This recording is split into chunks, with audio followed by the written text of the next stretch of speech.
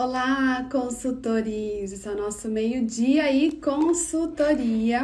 Nesses dias nós estamos falando sobre os cuidados nas etapas do processo de manipulação de alimentos. Já falamos sobre recebimento, sobre armazenamento, sobre pré-preparo e preparo. E hoje eu quero falar com vocês sobre a etapa de exposição do alimento.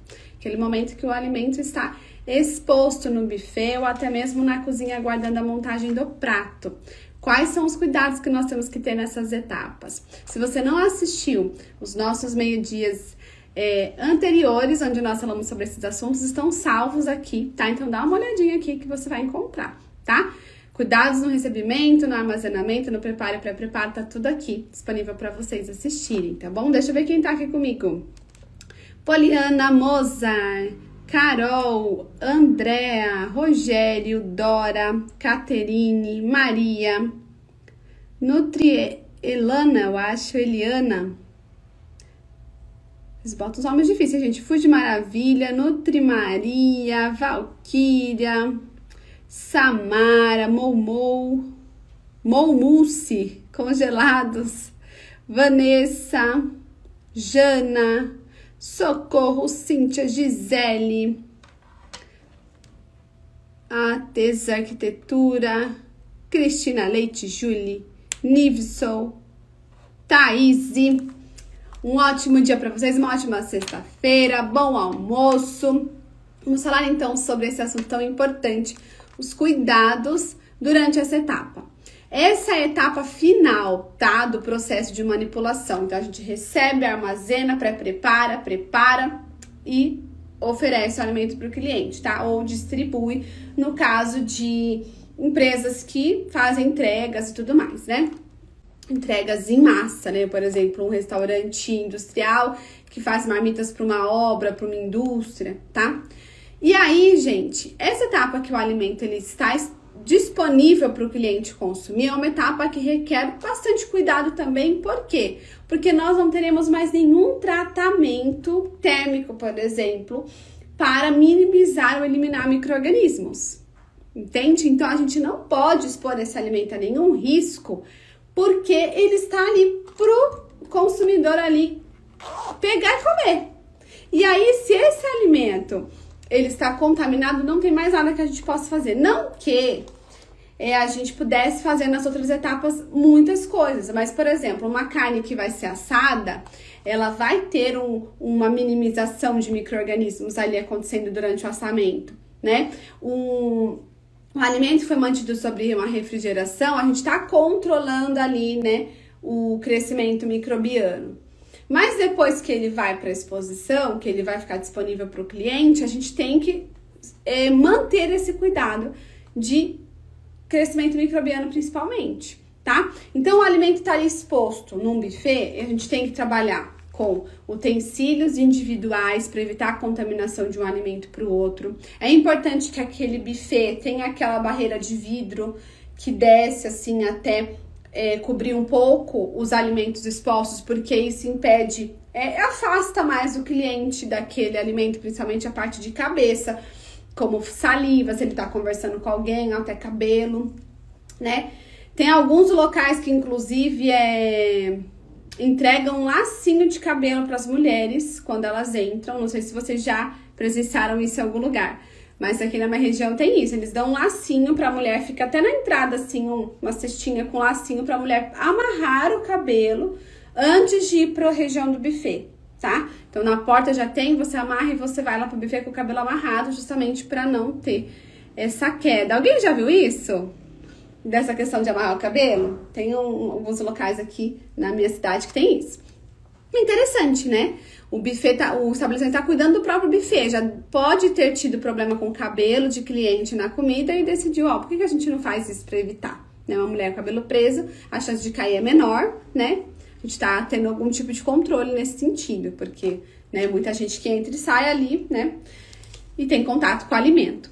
Uma outra questão é o, o, equipamento estar em bom estado de conservação e funcionamento para manter esse alimento seguro na temperatura que a gente precisa, né? Para os quentes acima de 60 graus, para os frios abaixo de 4 graus.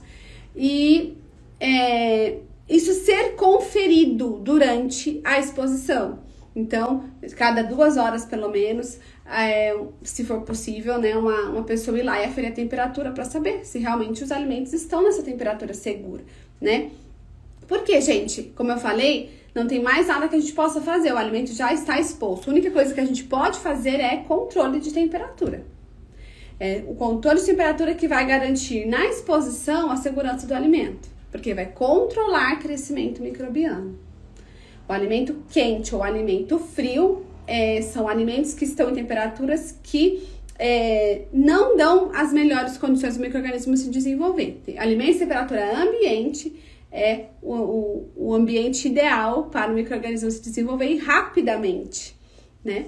Outro, outra questão importante é o, os cuidados ali com, repeti com reposição, né? Fazer essa reposição também com muito cuidado para não ter nenhum tipo de contaminação nessa etapa.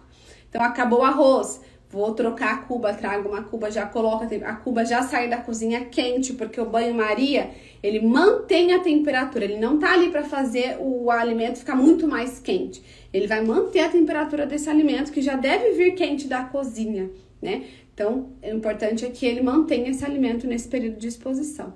Então, são cuidados que a gente vai ter que ter, né? Evitar, por exemplo, plantas, ornamentos perto dessa área, né? Pode ter planta no salão, mas não perto da área onde os alimentos estão. Vocês já devem ter visto também alguns restaurantes que em cima do buffet colocam uns vasos, umas orquídeas, e não pode. Por quê? Porque acumula sujidade, atrai insetos bem em cima da área onde o alimento está, né? Poeira. Então não é um ambiente ideal para ter plantas e ornamentos ali. Ali é para realmente proteger o alimento de contaminação. É uma barreira, né? Que a gente consegue ter minimamente ali para evitar que caia qualquer coisa no alimento. Então não dá, não dá para colocar esse tipo de objeto em cima. A área de cobrança, né, do do pagamento do prato pelo cliente deve ser separada também dessa área de onde o alimento está sendo exposto, justamente para não ter nenhuma contaminação vinda disso para o alimento. Então, como eu disse, ele está ali disponível para ser consumido e ele está exposto a qualquer tipo de contaminação. Então, temperatura, a, o equipamento funcionando adequadamente, a questão dos pegadores individuais, a questão de cuidado na reposição, a barreira, não ter ornamentos ali nessa área, são medidas que a gente pode adotar para evitar qualquer tipo de contaminação nesse momento. Lá na cozinha, no prato à la carte, o que eu posso fazer? Controle de temperatura também, já não vai ter ornamentos, vai ter contato com o cliente mesmo. Então, controle de temperatura é o maior cuidado que a gente vai ter quando está na cozinha, porque o arroz está pronto, o feijão está pronto, o molho está pronto. A única coisa que a cozinheira vai fazer é finalizar o prato, vai fritar uma batata, vai grelhar uma carne, né? E aí ela monta o prato do cliente, entrega, montar uma salada, entregar o prato para o cliente. Então, o higiene das mãos sempre importante a gente falar para montagem do prato do cliente e também a questão de controle de temperatura, né? Porque esse controle de temperatura vai garantir que esse alimento vai para o mês do cliente a temperatura segura para que ele possa consumir, tanto alimento quente como alimento frio, tá? Então, a gente já falou aqui de recebimento, de armazenamento, de pré-preparo, de preparo, agora falando também sobre essa etapa de exposição, é muito importante ter atenção e ter cuidado para que em toda a cadeia o alimento esteja seguro. A gente não perca essa segurança e essa qualidade no decorrer do caminho, porque são muitas etapas. O alimento passa, né, de uma matéria-prima para uma refeição, então ele passa por um processo de transformação, né? E deixa de ser uma fruta para ser um doce, deixa de ser né, algo cru para algo pronto, e essa transformação deve ser feita com segurança, deve ser feita com todos os cuidados necessários para que a gente minimize riscos de contaminação, garanta alimentos seguros, de qualidade para o consumidor. E a gente é, evite surtos alimentares ou excessivas medidas por alimentos que né, faz tão mal aí para nossa população, para os consumidores, não só é, na questão de sua saúde em si, mas o seu bem-estar. Algumas dessas doenças são graves. A gente sabe que algumas doenças podem levar a pessoa a óbito. Então, é um cuidado, gente, que vai desde o começo e tem que ser conduzido até o final. A gente não pode relaxar no meio desse caminho, a gente não pode permitir contaminações aconteçam, a gente precisa garantir que esse alimento, da maneira que ele entrou seguro, ele chegue na mesa do cliente seguro também. E para isso, todos os cuidados que a gente falou aqui, claro, cuidados específicos aí na cozinha que você está, devem ser tomados para que a gente minimize falhas, a gente minimize erros, minimize doenças e minimize surtos alimentares tá? É a sua responsabilidade como consultor, como profissional da área de alimentos, levar esse conhecimento, essa informação para dentro da cozinha, treinar as equipes, fazer os POPs, as planilhas, os controles, supervisionar o trabalho deles, orientar, sabe, direcionar, porque nós somos profissionais que têm esse conhecimento, que têm essa informação e que pode levar para eles, para que eles possam aplicar e a gente ter bons resultados nesse sentido.